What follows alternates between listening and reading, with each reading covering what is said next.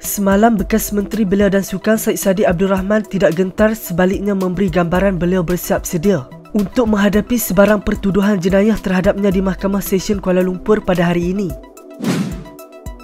Saya lebih rela masuk mahkamah dari masuk Perikatan Nasional. Jumpa di Mahkamah KL esok 8 pagi dan secara langsung di Facebook, Instagram 8 malam untuk pendedahan saya katanya di Twitter.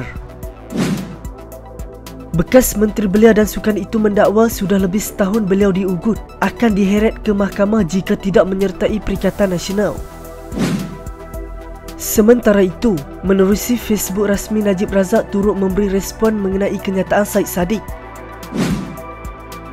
Eh, bila terbaca bekas menteri terlibat, ingat Xavier dengan kes RM 78 juta dia ataupun MP Masjid Tanah dengan MP Jeli. Rupanya bukan depa. Apapun welcome to cluster mahkamah. Guan Eng dan saya dah lama tunggu. Silap-silap Guan Eng masuk PN nanti. Mana tahu, tulisnya di Facebook.